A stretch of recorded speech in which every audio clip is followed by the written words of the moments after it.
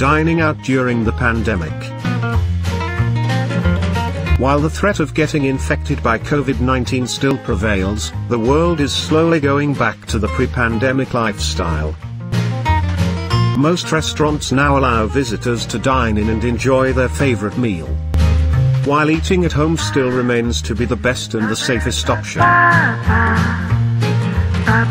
When eating outside, our choice is to find an open-air restaurant instead of the enclosed air-conditioned.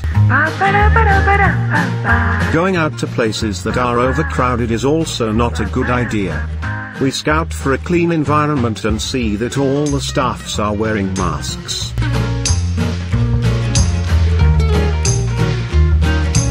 We also observe if they sanitize the dining tables after each customer.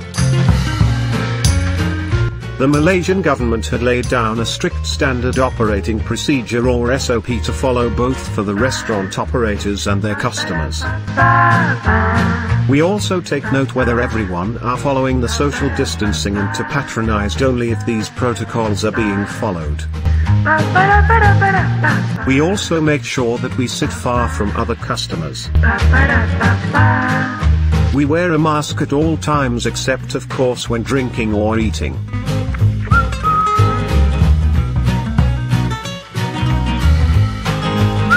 While waiting for the order or the bill to arrive, it's best we mask up.